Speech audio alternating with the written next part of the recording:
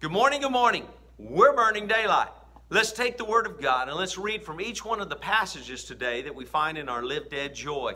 What a blessing it is to be a part of the beginning of your week. I pray that it is an amazing week and let it begin right now as we read together. I go to Nehemiah and I begin reading with verse 30 of chapter 10 where we have the scripture saying, We promise not to give our daughters in marriage to the peoples around us or take their daughters for our sons. When the neighboring peoples bring merchandise or grain to sell on the Sabbath, we will not buy from them on the Sabbath or on any holy day. Every seventh year, we will forego working the land and will cancel all debts. We assume the responsibilities of carrying out the commands to give a third of a shekel each year for the service of the house of God, for the bread set on the table, and for the regular grain offerings and burnt offerings, for the offerings on the Sabbaths, the new moon festivals, and appointed feasts for the holy offerings, for the sin offerings, to make atonement for Israel, and for all the duties of the house of the Lord. We, the priests, the Levites, the people, have cast lots to determine which of each of our families is to bring to the house of God in, at set times each year a contribution of wood to burn on the altar of the Lord our God, as it is written in the law.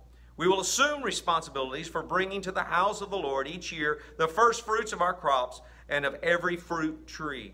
As it is written in the law, we will bring the firstborn of our sons and of our cattle and of the herds and of our flocks to the house of God to the priest ministering there. Moreover, we will bring to the storerooms of the house of God to the priest the first our ground meal, our grain, our offerings, and of the fruit of all our trees, and of the new wine and oil. And we will bring a tithe of our crops to the Levites, and it is the Levites who collect the tithe in all the towns where we work. A priest descended from Aaron is to accompany the Levites when they receive the tithes, and the Levites are to bring a tenth of the tithes up to the house of our God.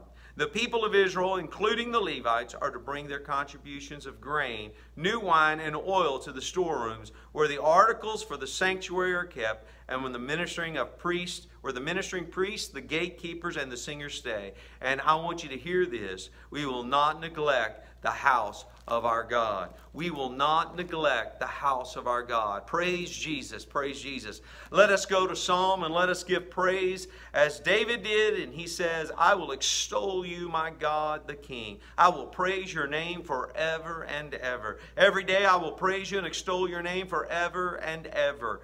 Great is the Lord and most worthy of praise. His greatness no one can fathom. O generation will one generation will commend your works to another, and they will tell of your mighty acts. They will speak of the glorious splendor of your majesty, and I will meditate on your wonderful works. They will tell the, of the power of your awesome works. Hallelujah. And I will proclaim your great deeds. They will celebrate your abundant goodness and joyfully sing of your righteousness. The Lord is gracious and compassionate, slow to anger, and rich in love. The Lord is good to all he has compassion on, all he has made. Hallelujah. Hallelujah. Oh, what a glorious portion of Scripture to give praise and honor unto the Lord Jesus today. As we arise on this Monday morning, let us never forget that praise is due unto Him. Hallelujah. Glory to the Lamb of God. Amen. I want to read to us out of our gospel presentation in Luke. Hallelujah, hallelujah, hallelujah. I want to read where Peter asked the Lord, Are you telling this parable to us or to everyone? The Lord answered, Who then is a faithful and wise manager? whom the master puts in charge of his servants to give them their food allowance at the proper time. It will be good for thy servant whom the master finds doing so when he returns. Hallelujah. I tell you the truth, he will put him in charge of all his possessions. But suppose the servant says to himself, My master is taking a long time in coming. And he then begins to beat the men servants and maid servants and to eat and drink and get drunk. The master of that servant will come on a day when he does not expect him, and at an hour when he is not aware, and he will cut him to pieces and assign him a place with the unbelievers. That servant who knows his master's will and does not get ready or does not do what his master wants will be beaten with many blows.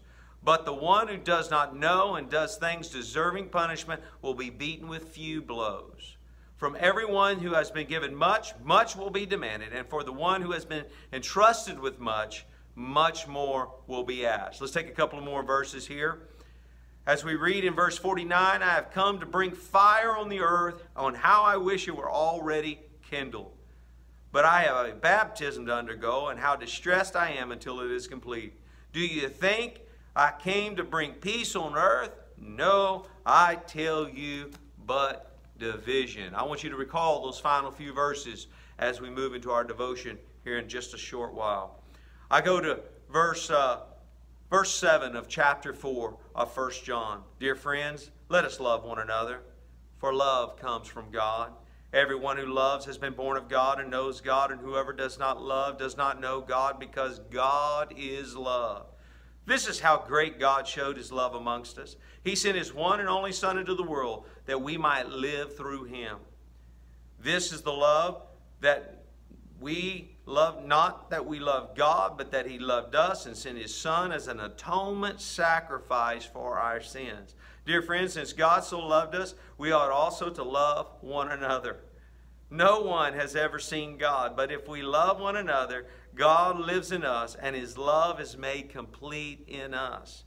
We know that we live in him, he in us, because he has given us his spirit. And we have seen and testified that the Father has sent his Son to be the Savior of the world. And if anyone acknowledges that Jesus is the Son of God, God lives in him and he in God. And so we know and rely on the love God has in us, or for us, excuse me. God is love. Whoever lives in love lives in God and God in him. In this way, love is made complete among us so that we have confidence on the day of judgment because in this world we are like him. There is no fear in love, but perfect love drives out fear because fear has to do with punishment. The one who fears is not made perfect in love. If we love because he first loved us, if any we love because he first loved us. I'll repeat that one more time so it will be clear. We love because he first loved us. If anyone says I love God yet hates his brother, he is a liar. For anyone who does not love his brother whom he has seen cannot love God whom he has not seen. And he has given us this command, whoever loves God must also love his brother. Oh, how he loves you and me. Hallelujah. And his love in us, hallelujah, is seen as we uh, express that love unto others. We read together in our Live Dead Joy. The title of today's devotion is The Blessing of Curse. Let us begin. Scripture has an awe inspiring holism concerning the character of God. It does not let us emphasize one aspect of his character to the detriment of the complementary attribute. It does not let us arrive at a zero-sum effect with mercy canceling out judgment and bless or blessing removing curse. Excuse me, or blessing removing cursing. Scripture pounds out the reality that the Lord is gracious and full of compassion, slow to anger, and great in mercy. The Lord is good to all, and his tender mercies over all his work, as we recall our reading in Psalm 145, 8 and 9.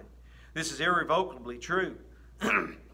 just as, excuse me, just as it is also true that those who do not obey God will fall under his curse, his wrath.